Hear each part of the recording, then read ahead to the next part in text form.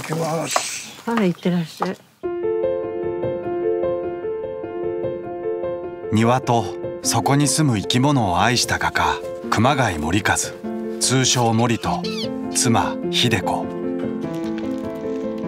結婚52年目の2人の周りはいつも賑やか。おはようございます先生。よろしくお願いします。無理も無理だ。こんな見ず知らずの男に書を書いてやるなんて息子のマサルが書きました。下手ですね。下手でいい。下手も絵のうちです。すごいですね。飽きないんですかね。もう30年もこの庭から一歩も外に出てないんだぜ。天狗が千人じゃなくて何なんだ。国から文化勲章をいただけるとか。こんな、はいいらないそうです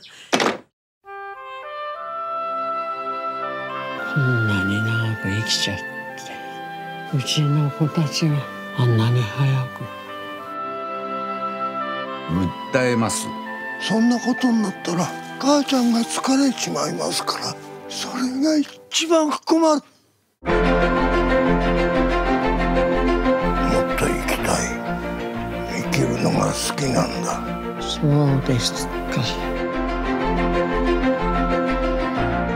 この庭は主人のすべてやからね。